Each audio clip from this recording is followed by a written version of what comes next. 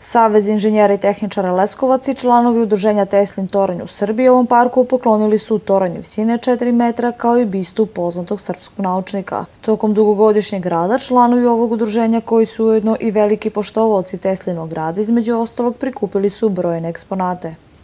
Pored toga mi smo uradili i mali testing centar i ovo je izuzetna prilika da nas lokalna sauprava podrži da te eksponate koje mi posedujemo da pretvorimo jedan mali testing centar u kome ćemo obučavati učenike i đake e, umesto da misle o, o nekim drugim mislima, da, da misle o dobru, faktički o ovom dobru koje je Tesla dao i da obučavamo sve đake iz Srbije u Leskovcu.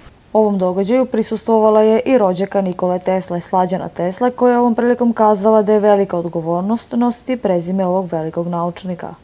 Ima svoje dobre i svoje malo teže, ne, neću reći loše, ali teže strane. Očekuju ljudi dosta od tebe, ne možeš da ostaneš neprimećen. A najslađe mi je, ovaj, dobro, kod, kod nas me ljudi prepoznaju i zbog mog posla kojim se bavim, ali i zbog toga kada carinici, kada putujem, otvore pasoš i vide prezime Tesla, oni se nazvaju i kažu Tesla, stvarno, ja kažem stvarno i to mi je najveći kompliment kad vidi da po svetu ga ljudi prepoznaju i to, da kažem, običan svet. U ime lokalne samouprave prisutnima se obratila Jasmina Nedeljković, pomoćnica gradonačelnika Leskovca.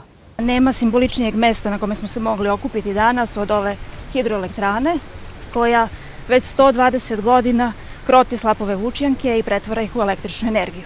Zato svima nama danas čestitam ovaj dan nauke i sigurna sam da će brojni posetioci ovog kupališta na kome danas otvaramo kupališnu sezonu posetiti ovo mesto i upoznati se sa likom i delom ovog velikog izumitelja e, koji je deo našeg nacionalnog identiteta.